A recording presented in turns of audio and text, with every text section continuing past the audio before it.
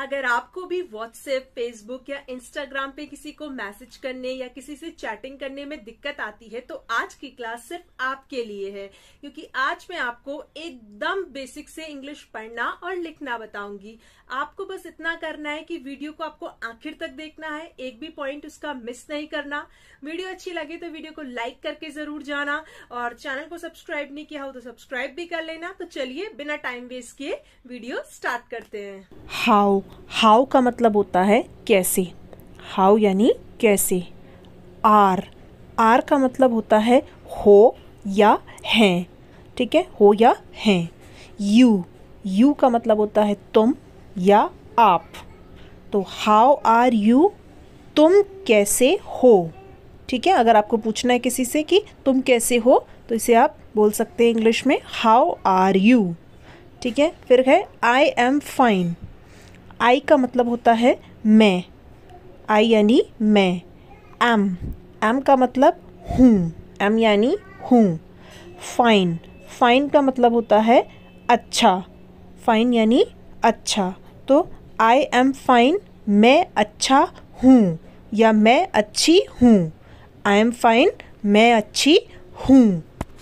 फिर है tell me one thing tell का मतलब होता है बताना या बताओ, ठीक है? और मी मी यानी मुझे। मी का मतलब मुझे। फिर है वन वन का मतलब होता है एक।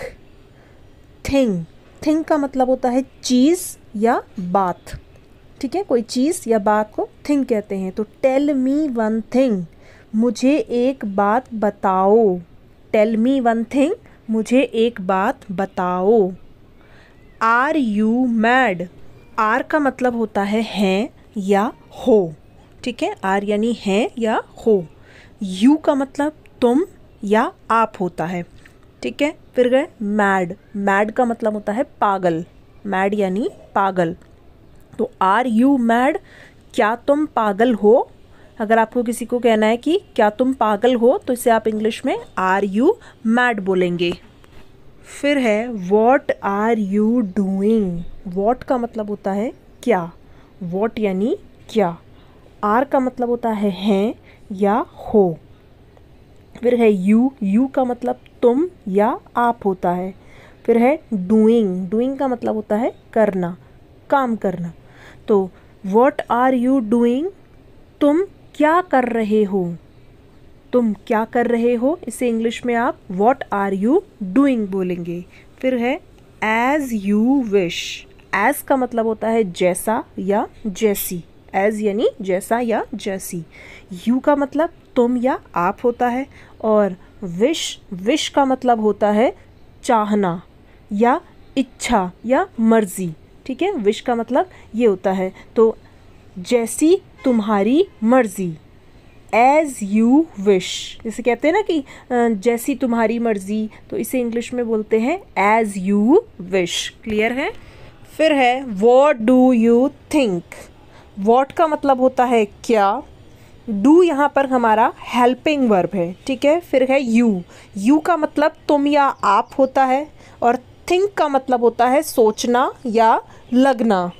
तो वॉट डू यू थिंक तुम्हें क्या लगता है? ठीक है? कहते हैं ना कि तुम्हें क्या लगता है? वॉट डू यू थिंक इस तरीके से। फिर है I am not sure I का मतलब होता है मैं या मुझे। एम का मतलब होता है हूँ और नॉट यानी नहीं। और श्योर का मतलब होता है यकीन या पक्का। ठीक है? श्योर यानी यकीन या पक्का। तो आई एम नॉट श्योर मुझे यकीन नहीं है। या मुझे पक्का नहीं है, ठीक है? आई एम नॉट श्योर कहते हैं ना कि मुझे पक्का नहीं है, मुझे यकीन नहीं है आई एम नॉट श्योर इस तरीके से, ठीक है? I have to play I का मतलब होता है मैं या मुझे। हैव का मतलब वैसे तो होता है कि पास है, लेकिन हैव के साथ अगर टू आ जाता है तो वहाँ पर हैव टू का मतलब निकलता है यह करना है, यानी कि कोई काम करना है, उसके लिए हैव टू आता है। फिर है प्ले प्ले का मतलब होता है खेलना, ठीक है? तो आई हैव टू प्ले मुझे खेलना है। ठीक है? कहते हैं ना कि मुझे खेलना है तो उसके लिए इंग्लिश में आई हैव टू प्ले आएगा। फिर है don't be over smart don't का मतलब होता है नहीं, और फिर है बी तो डोंट बी का मतलब निकलता है मत बनो। ठीक है? डोंट बी यानी मत बनो। ओवर स्मार्ट ओवर का मतलब होता है अधिक या ज़्यादा। ठीक है? और स्मार्ट यानी चालाक या होशियार। तो जैसे कहते हैं ना कि ज़्यादा होशियार मत बनो या ज़्यादा चालाक मत बनो डोंट बी ओवर स्मार्ट ठीक है? डोंट बी ओवर स्मार्ट ज़्यादा होशियार मत बनो या ज़्यादा चालाक मत बनो, ठीक है? I can read your face I यानी मैं। कैन का मतलब होता है सकता हूँ, ठीक है? रीड का मतलब होता है पढ़ना। और योर यानी तुम्हारा या आपका, ठीक है? और फेस का मतलब होता है चेहरा। I can read your face मैं आपका चेहरा पढ़ सकता हूँ। ठीक है? कहते हैं ना कि मैं आपका चेहरा पढ़ सकता हूँ तो इसे इंग्लिश में बोलते हैं I can read your face don't worry don't का मतलब होता है नहीं, और वरी का मतलब होता है चिंता। तो डोंट वरी का मतलब होता है चिंता मत करो। डोंट वरी चिंता मत करो। ठीक है? फिर है डोंट वरी अबाउट मी तो डोंट का मतलब तो नहीं हो गया वरी का मतलब हो गया चिंता और अबाउट का मतलब होता है बारे में। और मी यानी मेरे या मुझे। ठीक है? तो मेरे बारे में चिंता मत करो। डोंट वरी अबाउट मी ठीक है? अगर आपको किसी को कहना है कि मेरे बारे में चिंता मत करो डोंट वरी अबाउट मी या आप इसे ऐसे भी बोल सकते हो कि मेरी चिंता मत करो, ठीक है? डोंट वरी अबाउट मी मेरी चिंता मत करो, ठीक है? फिर है take care of yourself take care का मतलब होता है ख्याल रखना। टेक केयर यानी ख्याल रखना। ऑफ़ का मतलब होता है का और योर सेल्फ यानी खुद का, ठीक है? तो take care of yourself अपना ख्याल रखना। ठीक है? Take care of yourself का मतलब होता है अपना ख्याल रखना। वाई नॉट वाई का मतलब होता है क्यों? और नॉट का मतलब होता है नहीं। वाई नॉट यानी क्यों नहीं? वाई नॉट क्यों नहीं? फिर है लेट मी स्पीक लेट का मतलब होता है आज्ञा देना या होने देना। ठीक है? और मी का मतलब होता है मुझे। स्पीक यानी बोलना। स्पीक का मतलब बोलना। तो लेट मी स्पीक का मतलब होता है मुझे बोलने दो। यानी मुझे, अब मुझे बोलने दो, मुझे आज्ञा दो बोलने की, मुझे बोलने दो। लेट मी स्पीक मुझे बोलने दो। फिर है आई नीड सम मनी आई यानी आई का मतलब मैं या मुझे। नीड का मतलब होता है ज़रूरत। नीड यानी ज़रूरत। सम यानी कुछ। सम का मतलब होता है कुछ और मनी यानी पैसा। मनी यानी पैसा। तो आई नीड सम मनी मुझे कुछ पैसों की ज़रूरत है।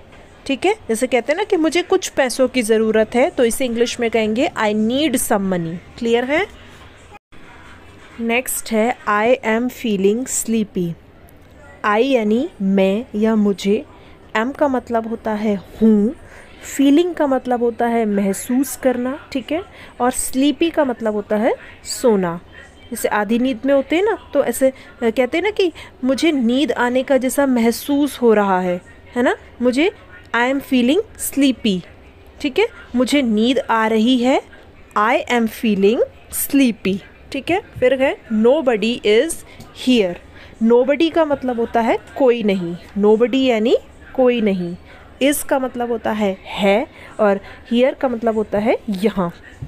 तो यहाँ कोई नहीं है। नो बडी इज़ हीयर ठीक है?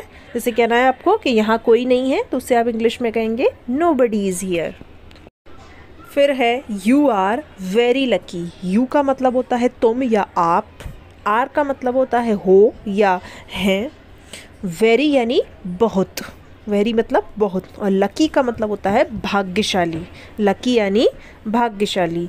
तो जैसे कहते हैं ना कि तुम बहुत भाग्यशाली हो। यू आर वेरी लकी ठीक है? तुम बहुत भाग्यशाली हो। यू आर वेरी लकी फिर है कॉल मी बैक कॉल का मतलब होता है बुलाना या फ़ोन करना। मी यानी मुझे।